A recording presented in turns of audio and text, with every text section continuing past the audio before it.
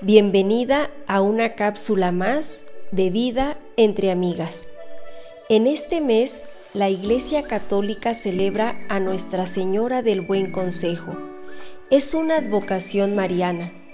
Pío IX incluyó en las letanías lauretanas las palabras Madre del Buen Consejo.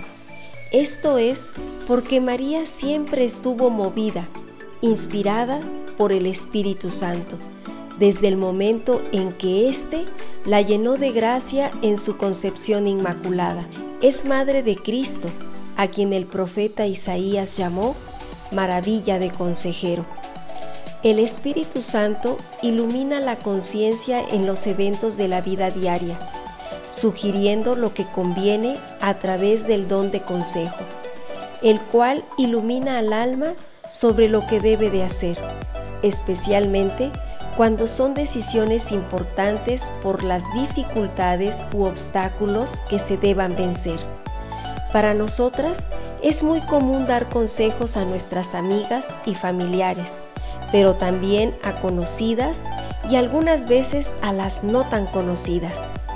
Un buen consejo puede salvar un matrimonio, evitar la quiebra de un negocio, apoyar a conseguir un ascenso, elevar la confianza personal nos puede acercar a lo que es más importante para nosotras en la vida, sobre todo cuando llega en el momento en el que más lo necesitamos, cuando no sabemos cómo afrontar esa situación. Todas las personas a lo largo de nuestras vidas necesitaremos de un consejo, o bien nos pedirán nuestro consejo, el cual debe ser nutritivo, con fondo y valioso Debemos aconsejar cosas con calidad, con valores, que lleven al crecimiento o al entretenimiento divertido y sano. No sabemos las cargas invisibles del otro. Seamos más empáticas, compasivas y comprensivas. Una forma especial de abrazar a alguien es con la oración.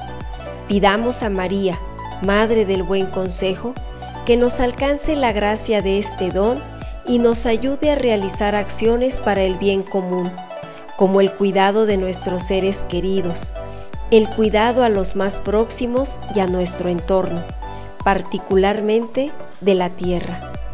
¿Sabías que la ONU instauró el 22 de abril como el Día Internacional de la Tierra? Esto con la finalidad de crear una conciencia general a los problemas de contaminación, la conservación de la biodiversidad y otras preocupaciones ambientales para proteger nuestra casa común. El Papa Francisco instó a los líderes mundiales a trabajar juntos para proteger el planeta y a los más vulnerables de la destrucción y explotación medioambiental.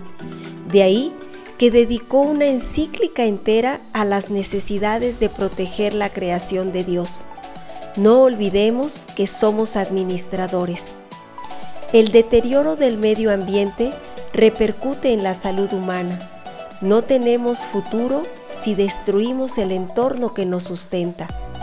Hagamos el compromiso de formar parte de proyectos ambientales de forma permanente.